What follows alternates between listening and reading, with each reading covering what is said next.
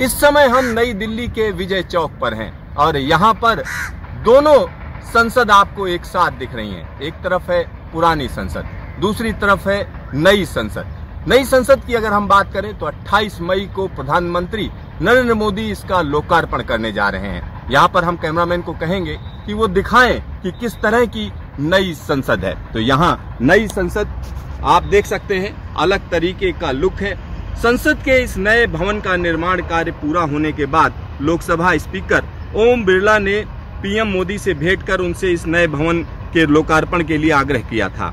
आपको हम बता दें कि लोकसभा तथा राज्यसभा दोनों सदनों ने 5 अगस्त 2019 को सरकार से संसद के नए भवन के निर्माण के लिए आग्रह किया था। इसके बाद 10 दिसंबर 2020 को प्रधानमंत्री नरेंद्र मोदी ने संसद के इस नए भवन का शिलान्यास किया था। संसद के नए भवन को करीब ढाई साल में ही तैयार कर लिया गया। मुख्य रूप से इसका निर्माण टाटा प्रोजेक्ट्स लिमिटेड कंपनी ने किया है और इसके मुख्य आर्किटेक्ट बिमल पटेल हैं। इस नए भवन की आवश्यकता इसलिए महसूस की गई क्योंकि बीते 75 सालों में संसद के सदस्यों की संख्या बढ़ी है और पुरानी बिल्डिंग के दोनों सदनों में बैठने के लिए सीटें कम पड़ने लगी थीं। आपको हम बता दें, संसद की पुरानी बिल्डिंग में लोकसभा में 550 सदस्यों के बैठने की व्यवस्था है।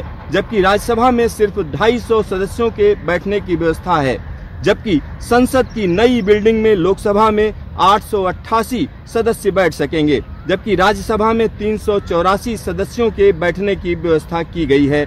यानी तुलनात्मक रूप से देखें तो यहाँ कहा जा सकता है कि अब इस नई बिल्डिंग के लोकसभा चेंबर में 338 अतिरिक्त सीटें लगाई गई हैं, जबकि राज्यसभा चेंबर में एक सीटें अतिरिक्त लगाई गई हैं। अब तक संसद में दोनों सदनों की संयुक्त बैठक पुरानी बिल्डिंग में स्थित सेंट्रल हॉल में हुआ करती थी, जबकि अब नई बिल्डिंग में दोनों सदनों का संयुक्त सत्र लोकसभा चेंबर में ही आयोजित किया जाएगा। यानी नई बिल्डिंग की अगर हम बात करें तो आवश्यकता पड़ी और उसके बाद इसको जल्द से जल्द तैयार किया गया है। और इस बिल्डिंग का जो आर्किटेक्ट इस तरह से रखा गया है कि आसपास की बिल्डिंग्स को अगर आप देखेंगे तो ऐसा लगेगा कि कोई नई चीज़ बनी तो है, लेकिन उनमें साम्यता दिख रही है। सिद्धार्थ, नई दिल्ली, न्यूज़ स्टेशन।